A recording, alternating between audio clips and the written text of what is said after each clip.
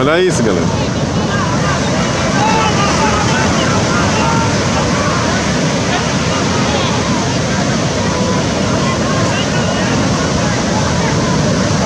Vinte e três de junho de dois mil.